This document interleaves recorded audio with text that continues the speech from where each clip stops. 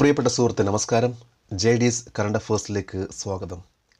രണ്ടായിരത്തി ഇരുപത്തൊന്ന് മാർച്ച് പതിനൊന്നാം തീയതിയിലെ latest current affairs general knowledge competitive എക്സാമിൽ വിജയിക്കാൻ എല്ലാ വ്യക്തികൾക്കും കഴിവുണ്ട്. പക്ഷേ പലപ്പോഴും വിജയിക്കാത്തതിന്റെ ഒരു കാരണം എന്ന് പറഞ്ഞാൽ മടിയാണ്. നമ്മളുടെ ഓരോ എക്സാമിന് വേണ്ടിയും പെർഫെക്റ്റ് ആയിട്ട് പ്ലാൻ ചെയ്തും അതിനുവേണ്ടി പ്രവർത്തിക്കുകയാണെങ്കിൽ നമുക്ക് ഓരോ എക്സാമിലും നന്നായിട്ട് പെർഫോം ചെയ്യാൻ സാധിക്കും. നമ്മൾ ഓരോ ദിവസവും ലേറ്റസ്റ്റ് ആയിട്ടുള്ള കറണ്ട് അഫേഴ്സ് പഠിക്കുകയാണെങ്കിൽ നമുക്ക് ആ വിഷയത്തിൽ നന്നായിട്ട് പെർഫോം ചെയ്യാൻ സാധിക്കും. അതുപോലെ മറ്റു വിഷയങ്ങളിൽ നമ്മൾ ശ്രമിക്കുകയാണെങ്കിൽ. ഇവിടെ ഈ വീഡിയോ ഓരോ ദിവസവും ലേറ്റസ്റ്റ് ആയിട്ടുള്ള കറണ്ട് അഫേഴ്സ് നൽകിക്കൊണ്ട് നിങ്ങളെ സഹായിക്കാൻ ശ്രമിക്കുന്നു. അതേപോലെ ഈ വീഡിയോ ഇഷ്ടമാവുകയാണെങ്കിൽ ഈ ചാനൽ സബ്സ്ക്രൈബ് ചെയ്യാൻ മറക്കരുത്. നമുക്ക് ചോദ്യങ്ങളിലേക്ക് പോകാം. Which international airport in India received the Voice of the Customer Award for Health and Safety Practices. ആരോഗ്യ സുരക്ഷാ രീതികൾക്കായി ഇന്ത്യയിലെ ഏത് അന്താരാഷ്ട്ര വിമാനത്താവളത്തിന് വോയിസ് ഓഫ് കസ്റ്റമർ അവാർഡ് ലഭിച്ചു Cochin international airport limited CIAL covid പത്തൊമ്പത് പാൻഡമിക് കാലഘട്ടത്തിൽ നടപ്പാക്കിയ ആരോഗ്യ സുരക്ഷാ രീതികൾക്ക് കൊച്ചിൻ ഇന്റർനാഷണൽ എയർപോർട്ട് ലിമിറ്റഡിന് airport council international voice of the customer award ലഭിച്ചു. What is the name of the third scorpion class submarine which commission in to the Indian navy on tenth March twenty twenty one രണ്ടായിരത്തി ഇരുപത്തൊന്ന് March പത്തിന് Indian നാവികസേനയിലേക്ക് വിന്യസിച്ച മൂന്നാമത്തെ scorpion class അന്തർവാഹിനിയുടെ പേര്. I N S Karanj. ഇന്ത്യയുടെ മൂന്നാമത്തെ Scorpene class diesel electrical submarine. രണ്ടായിരത്തി ഇരുപത്തൊന്ന് മാർച്ച് പത്താം തീയതി chief of naval staff admiral Karambir സിംഗിന്റെയും admiral V S ഷെക്കാവത്തിന്റെയും സാന്നിധ്യത്തിൽ മുംബൈയിൽ വെച്ചിട്ട് ഇന്ത്യൻ നേവിക്ക് വേണ്ടി കൈമാറി. ഇതിനു മുമ്പ് ഇന്ത്യൻ നേവിക്ക് ആയിരത്തി തൊള്ളായിരത്തി അറുപത്തൊമ്പത് മുതൽ രണ്ടായിരത്തി മൂന്ന് വരെ ഐ എൻ എസ് കരഞ്ച് ഉണ്ടായിരുന്നു. അതേ പേര് തന്നെയാണ് ഇപ്പോൾ ഈ മൂന്നാമത്തെ സ്കോർപ്പിയനും നൽകിയിട്ടുള്ളത്. Which Indian actor will be conferred with the twenty twenty one film archive award ഏത് ഇന്ത്യൻ നടനെ രണ്ടായിരത്തി ഇരുപത്തൊന്നിലെ ഫിലിം ആർക്കെ അവാർഡ് നൽകും?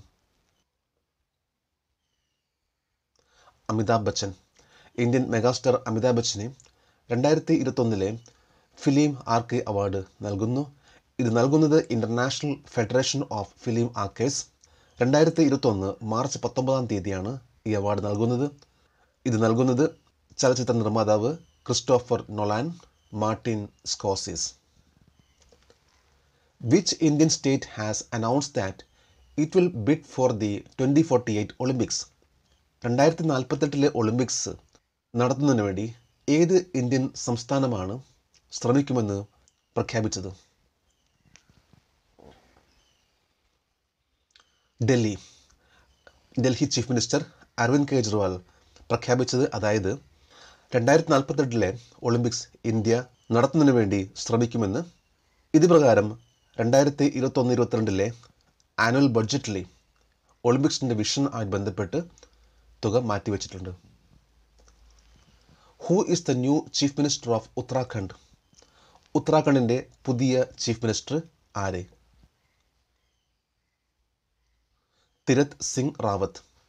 രണ്ടായിരത്തി ഇരുപത്തൊന്ന് മാർച്ച് പത്താം തീയതി Garhwal M P Tirath Singh Rawat Uttarakhand chief മിനിസ്റ്ററായിട്ട് ചുമതല ഏറ്റെടുത്തു രണ്ടായിരത്തി ഇരുപത്തൊന്ന് മാർച്ച് ഒൻപതാം തീയതി ത്രിവേന്ദ്ര സിംഗ് റാവത്ത് സ്ഥാനം ഒഴിഞ്ഞതിനെ തുടർന്നാണ് തിരത് സിംഗ് റാവത്ത് ചുമതല ഏറ്റെടുത്തത്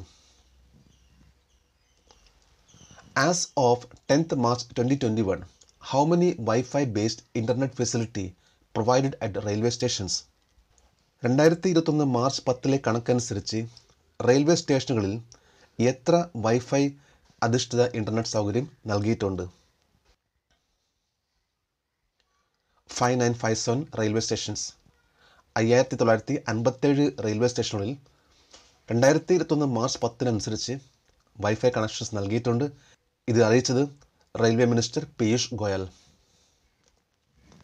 Which nation has launched its first military exercise in space? ഏത് രാജ്യമാണ് അവരുടെ ആദ്യത്തെ സൈനികാഭ്യാസം ബഹിരാകാശത്ത് ആരംഭിച്ചത്? ഫ്രാൻസ്. ഭൂമിയുടെ ഭ്രമണപഥത്തിലെ ലോകശക്തികൾ തമ്മിലുള്ള വർദ്ധിച്ചു വരുന്ന മത്സരത്തിനിടയിൽ ആക്രമണത്തിൽ നിന്ന് ഉപകരണങ്ങളെയും മറ്റ് പ്രതിരോധ ഉപകരണങ്ങളെയും പ്രതിരോധിക്കാനുള്ള കഴിവ് പരീക്ഷിക്കുന്നതിനായി ഫ്രാൻസ് ബഹിരാകാശത്ത് ആദ്യത്തെ സൈനികാഭ്യാസം ആരംഭിച്ചു. ഫ്രാൻസിന്റെ ആദ്യത്തെ സാറ്റലൈറ്റ് ആയിട്ടുള്ള ആസ്റ്റർ എക്സ് ആണ് ഈ എക്സസൈസിന് അവർ നൽകിയിട്ടുള്ള പേര്. നമ്മളിന്ന് ഇത്രയും ലേറ്റസ്റ്റ് ആയിട്ടുള്ള കറണ്ട് അഫേഴ്സ് ആണ് അപ്ഡേറ്റ് ചെയ്തിട്ടുള്ളത്. നമ്മൾ ഓരോ പ്രാവശ്യം ഇതേപോലെ അപ്ഡേറ്റ് ചെയ്താൽ നമുക്ക് ഏതൊരു എക്സാമിലും നന്നായിട്ട് പെർഫോം ചെയ്യാൻ സാധിക്കും. നമുക്ക് നാളെ വീണ്ടും കാണാം. Thank you thank you very much